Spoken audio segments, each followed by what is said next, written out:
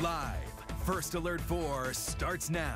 Thank you for joining us. I'm Justin Andrews. Tomorrow was the first day of school for tens of thousands of students across the St. Louis area. First Alert 4's Alexis Zotos shows us the efforts to keep children safe as they head back to class.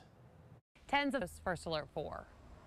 You just heard Alexis there mention talking about hundreds of families in the St. Louis Public School District. They're scrambling for rides to get their children to school.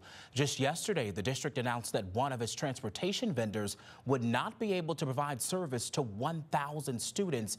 Keep in mind, the first day of school is tomorrow. Extra Care Services was supposed to provide six buses for nearly two dozen schools in the district. SLPS says the company alerted them yesterday that it could not meet that obligation less than 48 hours before the first day of class.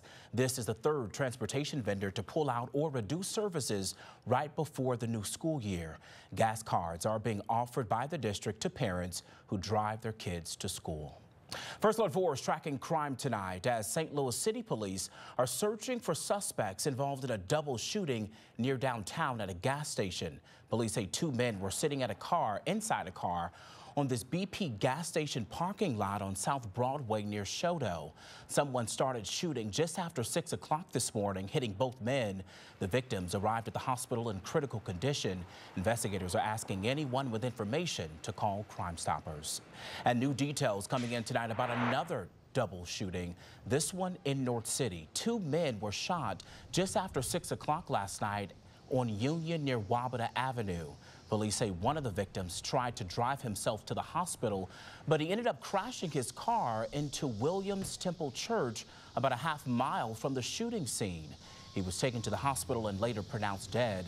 The second victim got to the hospital for his injuries in a separate car. If you know anything about this case, call Crime Stoppers. And we got lots of sunshine across the area today. This is a live look over Forest Park.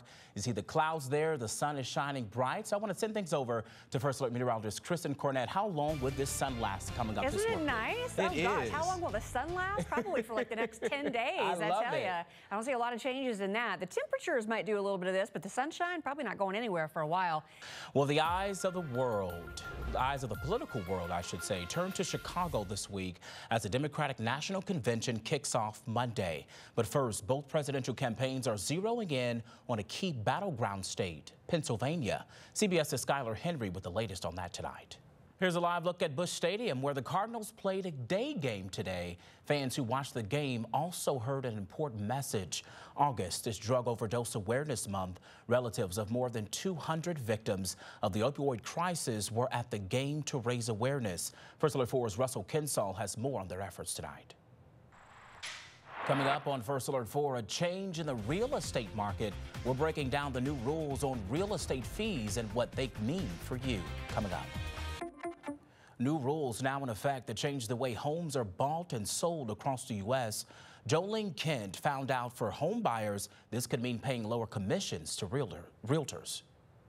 Millions of Americans enjoy fishing during the summer, but few have gone fishing with a magnet. After the break, the unique hobby gaining popularity that could help you find a buried treasure.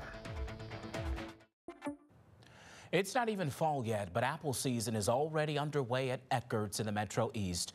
You can pick your own and Maya apples at the Grafton and Belleville farms. You'll also find apple pie and other sweet treats at the country store. More varieties of apples will be available for picking in the weeks ahead. St. Louis City SC is making an impact off the pitch. The team is partnering with Schnucks for a week-long food drive to help feed the hungry. The food drive starts today and runs through next Sunday. It benefits Operation Food Search, which serves tens of thousands of people in our community. On Wednesday, the team will be hosting a meet and greet with several City SC players. That's on August 21st at the Des Peres Schnucks from 4 to 5 15 p.m. If you're interested, we have a lot more information on our website and also on the First Alert 4 news app. There's a different type of fishing gaining popularity across America. It involves looking for sunken treasure.